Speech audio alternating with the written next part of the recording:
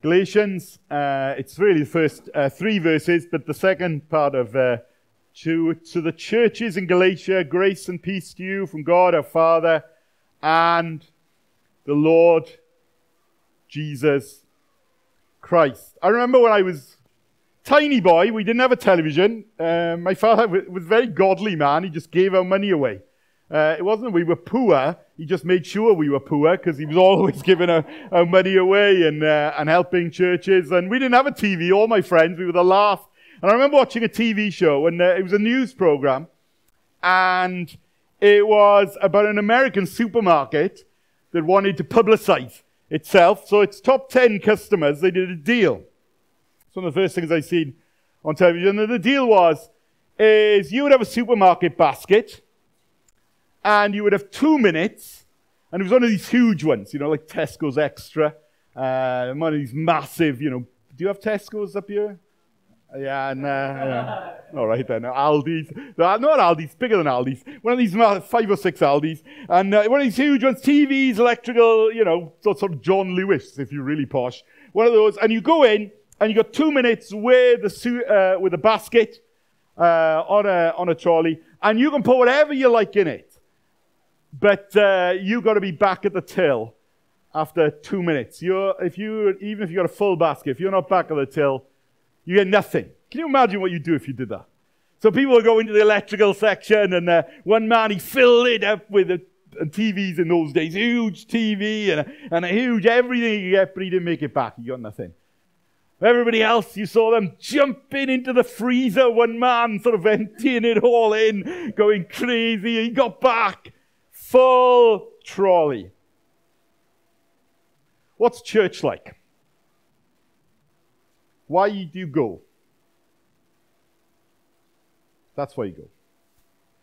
Some people say you go to worship God. I, I, don't think that's true. I don't think we're capable of worshiping God. I don't think any of you are.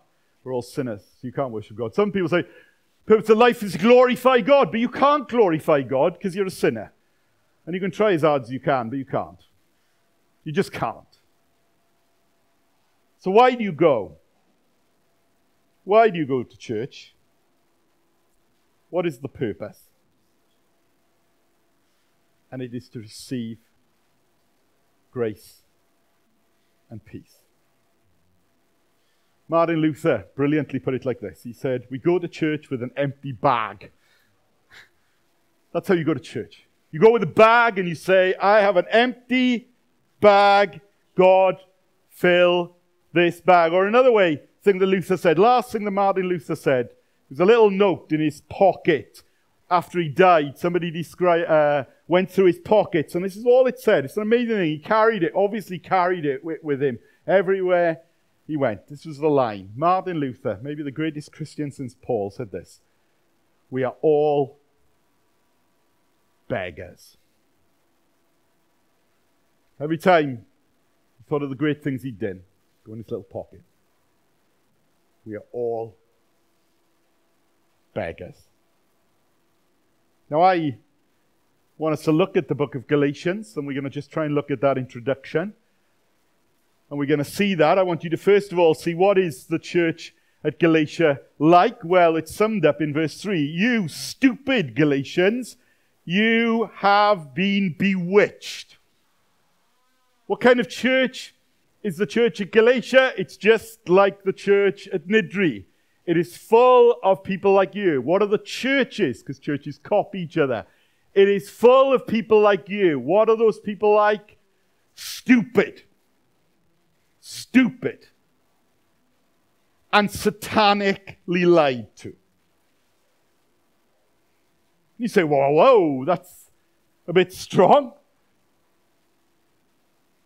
But the truth of the matter is, if everybody knew your heart and what you'd done this week, not last week, not before you were a Christian, just this week, or if you're not a Christian, just this week, think about the things you've done. Think about the times you got annoyed with somebody else because they didn't realize that the whole world circles around you. Think of the times that you sulked because somebody didn't realize that you actually aren't the center of the universe. I found this this week. I, I found myself shouting. I was driving down to church and I was late. It was my fault, totally my fault. I was late uh, to church. I had a meeting and a car pulled up. Have you ever had this when you're driving out of a junction and it just pulled out really slowly and cut me up? And then decided that they would drive, no, they're not kidding, 15 miles an hour. I was livid. Don't they know who I am? Don't you know I've got somewhere to go? Doesn't matter you're old and disabled, you're in my way. I was trying everything in me was trying not to toot. I was shouting. If I could have got my hands on if I had a gun, I could shoot them and I could drive. You know, all of this. Why, where does that come from? Stupid views of me. I think there is a God and I think it's me. Stupid, satanic lies I believe about myself. And this letter is written to the churches here, but it's also written to your church. And it's written by a God who knows everything you said and everything you've done this week, and everything you said and everything you've done every time you come to church, every Sunday, every hypocrisy. Do you do that when you come in and you've, you've committed all kinds of sins in the week, but you shake everyone's hand and say, I love you? You know, in your church, you do, you're into hugging. Creeps me out a little. I'm, uh, I was very glad to hear what uh, Mez said about the non-binary thing. I was a little unsure, if I'm honest, but I, uh, but I'm all right now. That makes me just watch what you're doing with your hands when you hug me. But I, uh, but I,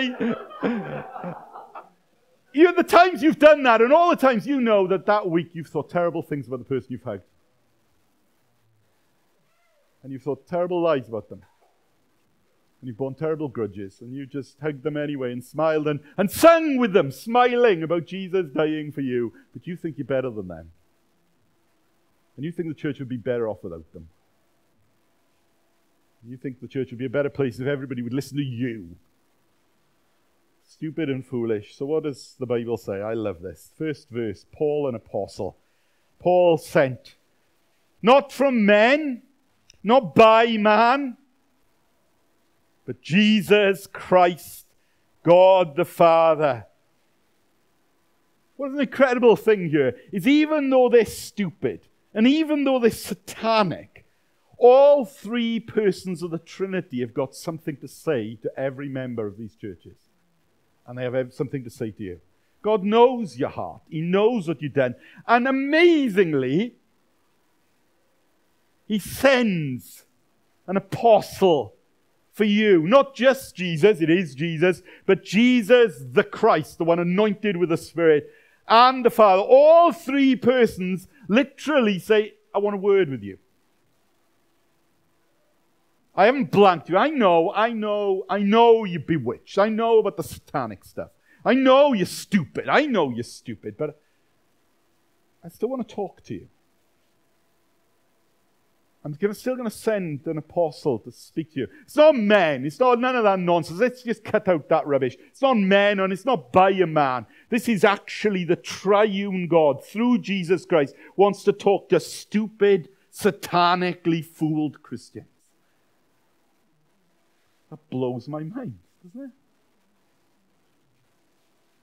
If I was God, I'd blank me. In fact, that's what I think of God. That's why sometimes I don't listen in sermons, because I don't think God's got anything to say to me because of the way I've been. People often say that God's finished with me. I said, There's only one way we know God's finished with you, and it's when we're burying you. God isn't finished with you. If you're breathing, He isn't finished with you. He, he wants a word. Jesus, the sent, the apostle, Jesus, the Christ, the one anointed with the Spirit, Jesus, the one sent by the Father, the three persons of the Trinity still want to talk to you, however much of a mess your life is. And everybody's like, I'm not bad, I'm stupid, I'm bewitched, I'm not better than anyone, I know my heart, I'm a sinner, and yet he still wants to talk to me and you. And he wants to talk to Niddrie and Mount Pleasant Baptist Church. And I love this little phrase. who Raised him from the dead. See, as stupid as you are and as satanic as you've been, what justifies you is not your holiness. It's not your quiet times. It's not how you sing. It's not how friendly you are in church. It's not how much you smile. It's not how much you serve. It's not how much you give. It's not how much you know. Christ was raised for your justification. You know, you'd be closer to God if you read the Bible. No, you won't. You won't. You'd be closer to God if you prayed more. No, you won't. No, you won't. You cannot get closer to God than the moment you're saved. He is raised for your justification. You have been stupid. You have been satanic. He still pleads your name in heaven. And he wants a word. He wants to deal with that stuff. But before he deals with that stuff, he wants a word and he wants to tell you Christ died for your sins. And more than that, was raised for your justification. You don't have to say to God, God, you know, from now on, when I was first a Christian, I was always promising to start tithing. That was my big prayer. Lord, if you let me pass this exam that I haven't studied for, I used to pray that. Lord, going to start tithing my pocket money. You know I will. Dad gives me 10 pence because he gives all the money to missionaries or something. And he only gives me 10 pence. Even the Tooth Fairy, 5 pence from the Tooth Fairy. I had the tightest Tooth Fairy ever. And, and God used to give half, used to have half pence. That's why I put that in collection. That was my tithe. Half pence. Because I, you know, God, I'll, I'll, I'll, give, I'll give you everything. I'll give you, an, and then I'll be right with you. You're right with God because Jesus is risen from the dead. Bewitched, stupid Christians. You're right with God because Jesus was raised from the dead. God wants a word. God wants a word. I don't know whether, do you ever have this uh, where Andy or maybe Mary says, uh, send someone and someone comes on to you. In our church, this, this happens all the time. I say, oh, you couldn't grab so-and-so.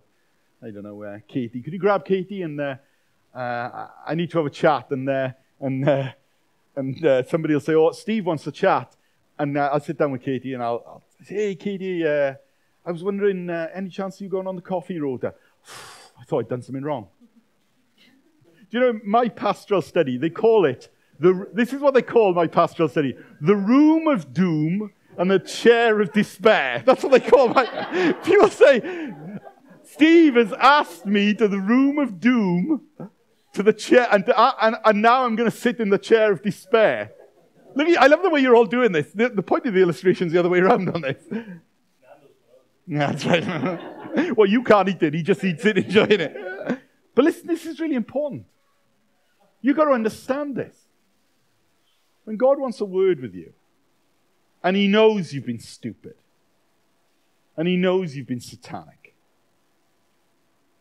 and He's going to talk to you about that, what's He going to say first? He knows what you've said and He knows what you've done. What's He going to say first? My dad, and my dad is, my dad is fearfully uh, but not wonderfully made. My father is still the most terrifying man I know. Uh, my father, I'll tell you a story about my father. Me, I got three brothers, and one is six foot three, and he's uh, he's just an animal. He's just a monstrous uh, guy, and he's sort of fearful of nothing. And I got another brother who's just basically a comedian. You know that because he's Presbyterian. But he's, uh, he's, uh, but he's, uh, he's, sorry, if you don't know, get that, it's a little religious joke. It's funny when you get, well, it's not that funny. Anyway, but, uh, but anyway, he's, very, he's he actually he's the funniest guy you know. My father's got this long little quiff of hair on the top of his head, right? And uh, it looks ridiculous. But my father's so frightening, nobody laughs at him, right? So uh, my, my dad once was shutting, was getting into the car, and the three of us, three of us are there, we all like a good laugh. And uh, and he shut the door, and his hair got caught in the door. Slammed the door, right? And he, he pulled it, and, and you could see his face grimace. And then he opened the door, and he put his hair, he drove around. None of us laughed till he drove around the corner. I want that kind of respect from my children. That's the kind of, you know, he's that kind of guy. He's like, he genuinely, he's, he's that kind of man, right? And, uh, and, but he does this for the grandchildren. He says, uh, I want to talk to you, but before I want to talk to you, I, I got something for you. I don't know, he's gone soft since he's become a grandfather. Uh, we never had chocolates, but anyway, and he put his hand in his pocket and, and he'd get out sort of a handful of chocolates. God wants to get, have a word with you.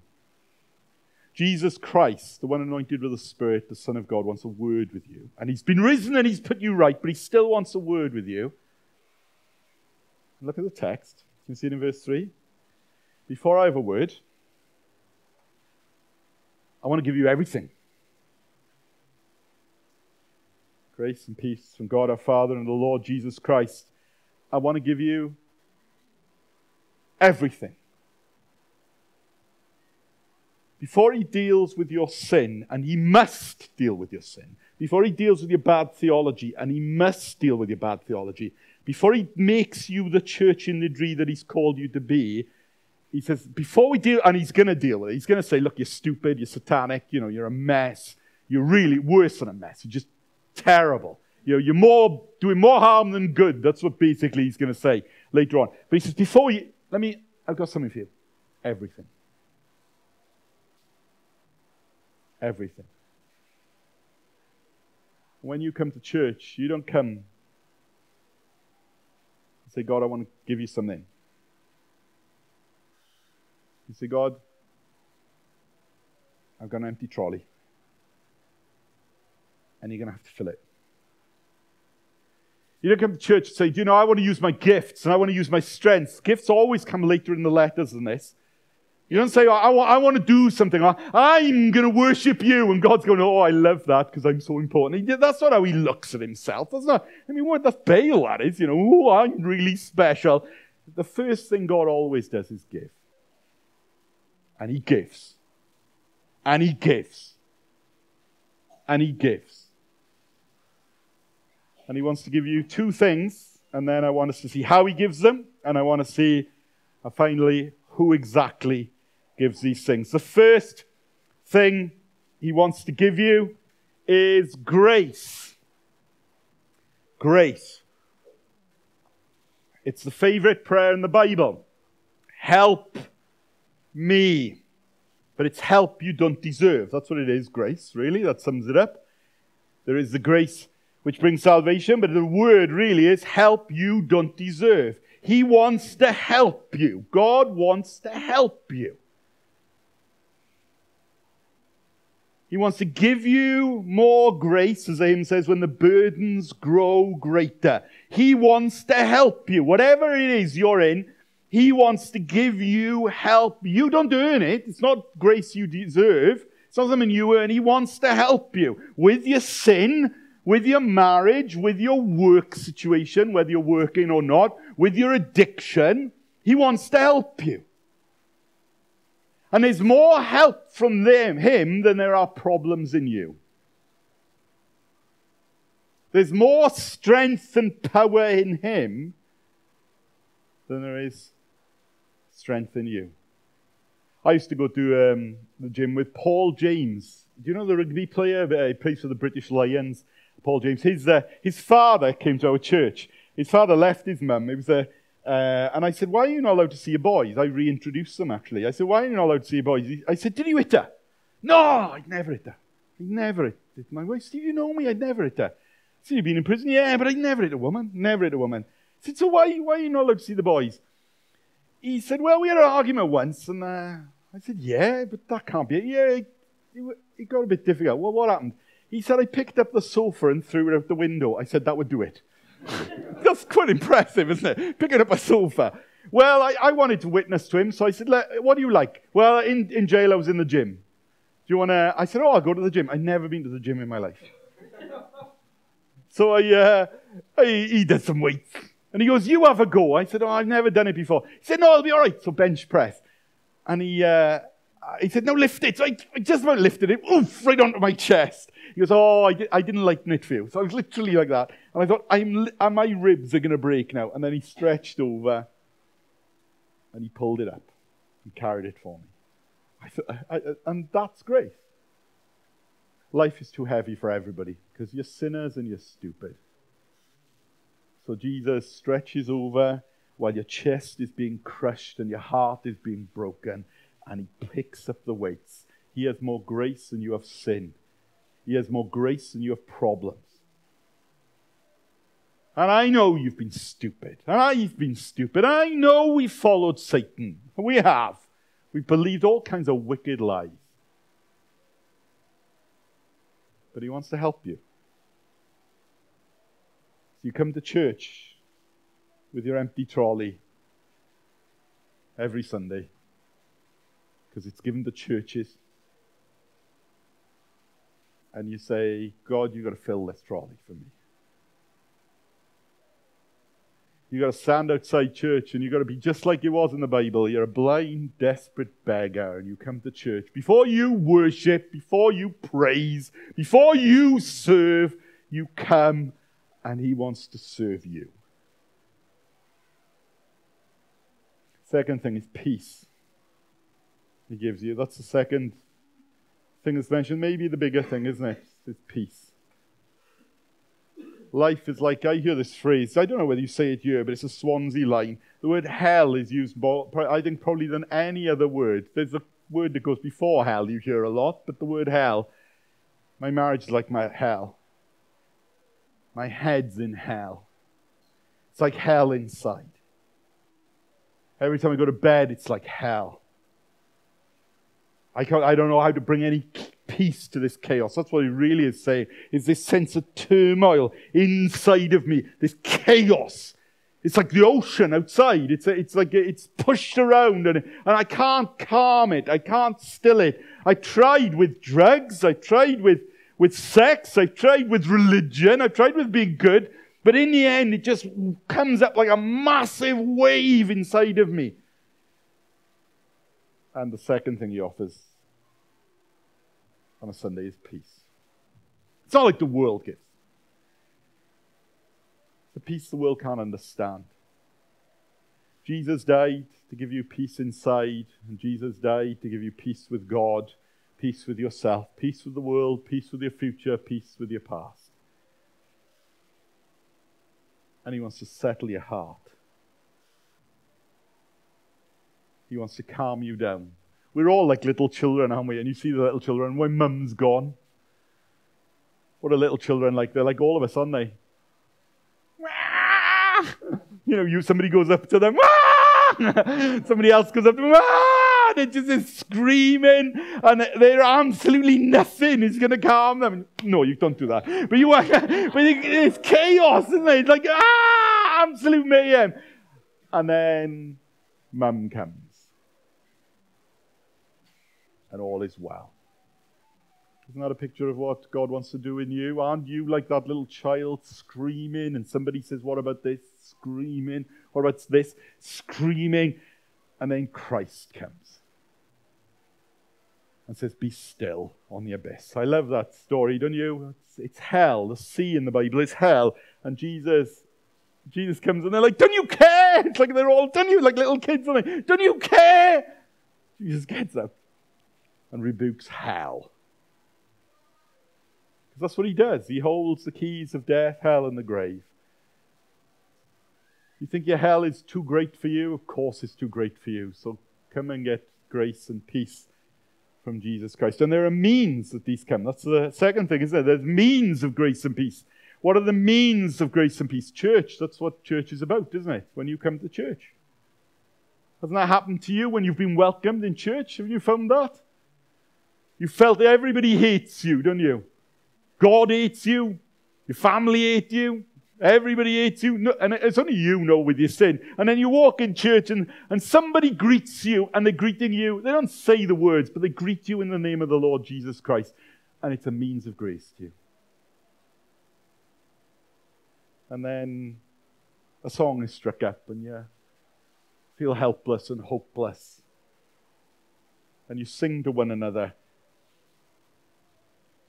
and grace and peace from God our Father and the Lord Jesus Christ comes to you through the singing of a song or through someone sharing a verse.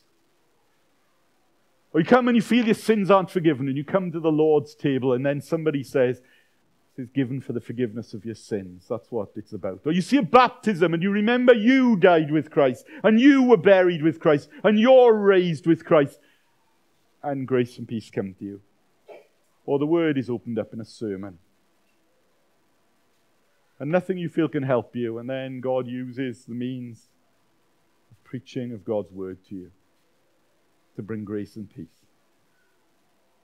That's why the devil wants to do everything to stop you coming to church. It always makes me laugh. People say, uh, and we'll look at this later in the week, uh, I can't come to church because of what I've done wrong this week. Church is only for people who do wrong things. You've got to get your head into this. Well, I'm going to give this quote later in the sermon. Jesus only came for sinners. Martin Luther said, so you better make sure you're a sinner. I think that's a really helpful thing, isn't it? You better make sure you're a sinner. So I can't come, I've sinned. Great! If you come and say, Well, I haven't sinned this week, you know, so I'm coming, it's like, no probably best not to come. He's only for sinners. He's only for sinners. Grace and peace to you. God our Father, what are the means of grace? The preaching, well, church, preaching of His word, baptism, Lord's Supper. You just sit there and you just you just sit there and you think, oh, well, just somebody's doing the thing. It's supposed to be a means to help you. You're supposed to think, get something out of that. You remember your baptism when you see a baptism. You remember your forgiveness of sins whether you eat and drink. You're supposed to listen to the songs and let others sing to you, and then you sing to them. And you're supposed to listen to God's word and let Him bring grace and peace to your soul. And then the last thing, and I love this who brings it? Who can do such a thing? All three persons of the Trinity.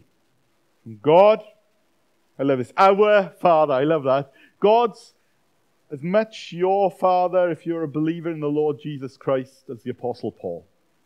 That's cool, isn't it? I'll, I'll go further than that. Bewitched, stupid Christian. He's as much your Father as he is the Father of the Lord Jesus Christ. That's incredible, isn't it? And he wants to help you and give you peace. He wants to fill your trolley with grace and peace so that you can go out this week and when someone's horrible to you, you go into the trolley and you get some grace and you remember as he's forgiven you, you forgive them. And, and we could, you, that's another thing. You just endlessly go back into what you received on Sunday and you live it out throughout the week. And then you go to church the next week with your empty trolley and you say, fill me up, God, because I got to go out next week and I live with idiots and I need lots of grace and I need lots of peace. And that's how you go to church. And you turn up early and you leave late and you milk every Christian for all the grace and peace they got. Have you got a verse for me? Have you read anything? Could you pray for me? Go through the sermon again with me. I need grace because I live with idiots. And I, I live in the world and it's really hard for me. So I need grace and peace. Lots of it. But it comes from God our Father. It comes from Jesus. Grace and peace. And it comes from the Holy Spirit who anoints Jesus. Can you see all three persons of the Trinity are rooting for you and want to help you? All three persons of the Trinity want to help you with your problems where you need help. I don't know what your problem is. Maybe your problem is you're lonely. Maybe your problem is you're bitter or you're angry. Maybe your problem is, I don't know what your problem is. But however big it is, His grace and peace is more. But all three persons of the Trinity want to personally help you. This is the most incredible thing in the world. They don't only want a word with you, through Jesus, the Father sends Jesus in the power of the Spirit, and He wants a word, and He's risen from the dead. So justified, so let's sort that out. Now He wants to actually help you now with your marriage, and He wants to help you with your bitterness, and He wants to help you with your job, and He wants to help you with your, with whatever it is, and He wants to bring peace to the chaos. All three persons of the Trinity love you and want to help you. It's not just Jesus, all three of them the Father, our Father, Jesus, and the Holy Spirit who anointed Jesus without measure are not only just rooting for you, but actually actively wanting to help you. And to be honest with you, your problems are so big that you need the Trinity to help you. I'll close with this because I think everybody's a little tired. But I um, had a horrendous year last year. I uh, two days really passed as nightmare. I had a girl worked with me, a young woman. She got married, and uh, she was she was just amazing. Uh, but when she got married, uh, she got pregnant, and while she was working for me, uh, and she was pregnant, a little boy was born prematurely. Boaz, his name is, little boy, and um, and uh, 20 23 or 24 weeks, and even though nearly all the doctors on our ward were from our church, uh, and nurses. It's touch and go at that stage. He looked like he was going to recover, but uh, little Boaz had a massive stroke, and I was called in to see whether he was going to die. Ah, and I was to pray with him. That was why they let me into the ward.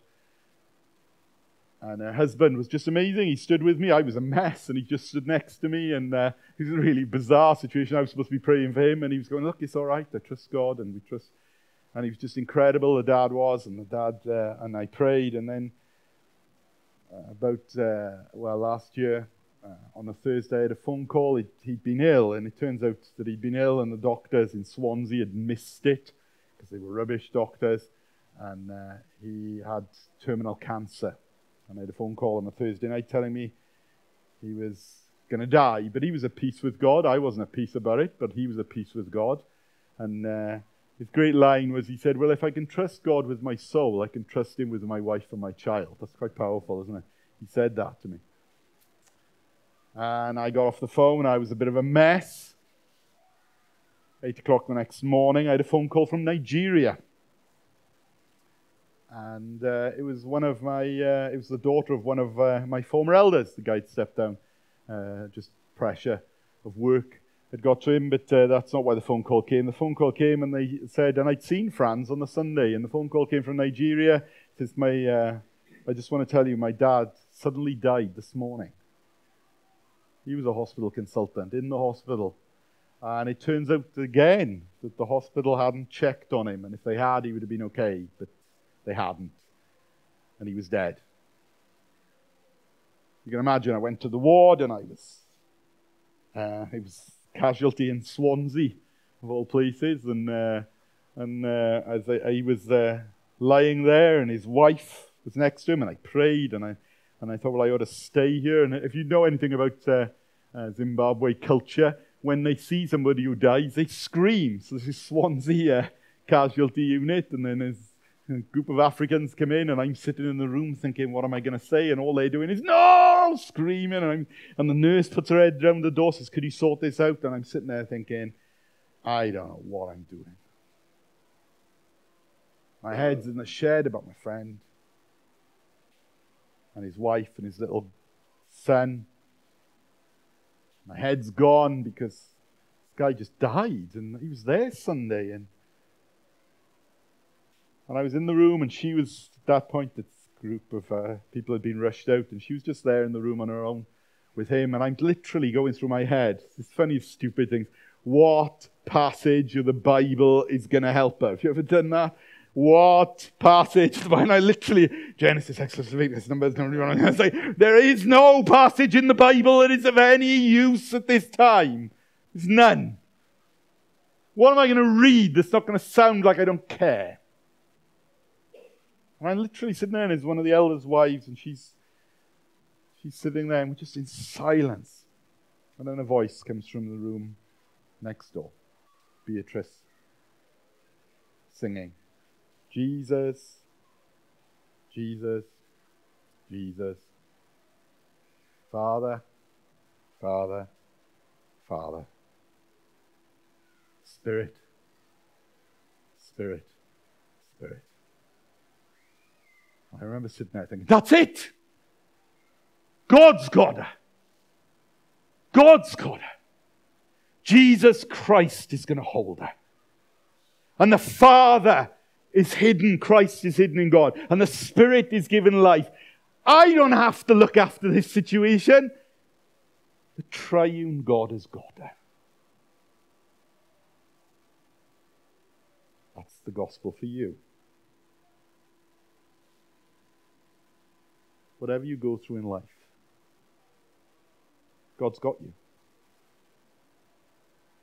Jesus has got you. And he wants to give you grace. And he wants to give you peace.